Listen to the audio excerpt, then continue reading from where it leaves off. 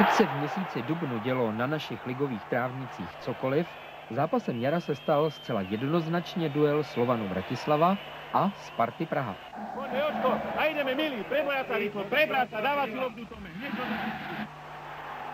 Přišlo se na něj podívat 43 tisíc diváků, což za posledních deset let nepamatujeme.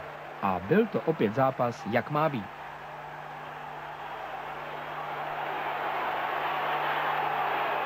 Sparta přistoupila k utkání stejným způsobem jako ke svým pohárovým střetnutím s Olympikem Marseille, Benficou nebo Barcelonou.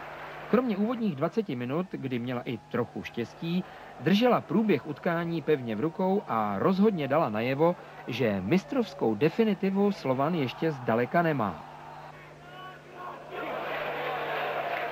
Na těhelnom poli zazářili především dva hráči, Horst Siegel a Václav Němeček. Ten první nádherným volejem zvýšil vedení Sparty na 2-0.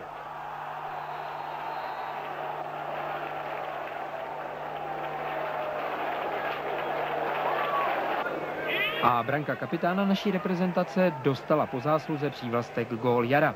I tenhle moment přispěl k tomu, že se Václav Němeček stal osobností měsíce dubna i května.